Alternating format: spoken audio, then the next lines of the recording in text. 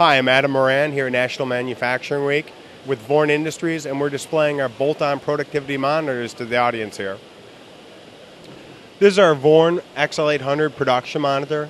This is a device that combines real time production monitoring with a large visual display and embedded web server. We're feeding it discrete I/O right off of a production line and calculating real-time data for your associates on the plant floor and through an embedded web server throughout the organization. This unit is a complete solution with all firmware embedded in the device.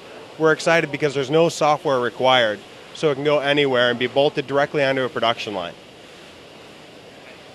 This is also one of our XL800 models. This is a larger version that can show more data this is typically used in processes where you want more information across the facility.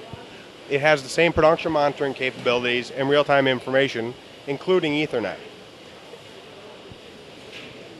This is our Model XL600. It shares the same logic and functionality with the XL800 series, but it has a traditional andon style.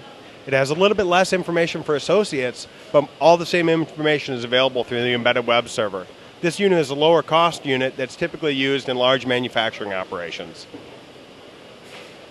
Thanks for visiting the Vorne booth at National Manufacturing Week 2008. For more information, you can visit our website at www.vorne,